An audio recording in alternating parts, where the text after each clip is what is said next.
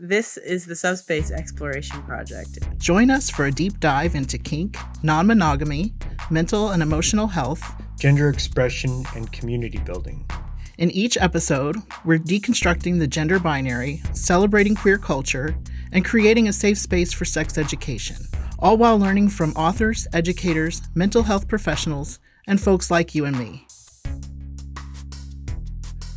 Do you have personal stories and observations you would like to share about kink, BDSM, non monogamy, and where neurodivergence, mental health, gender expression, community, and politics all intersect?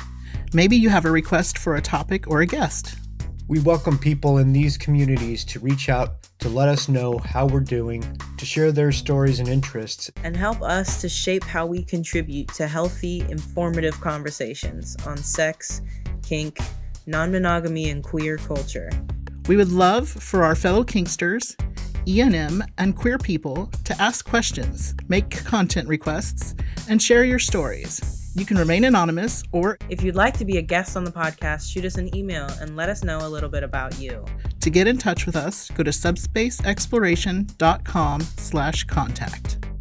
Please comment, like, share, and subscribe on Apple Podcasts, Spotify, YouTube, Acast, and RSS feed.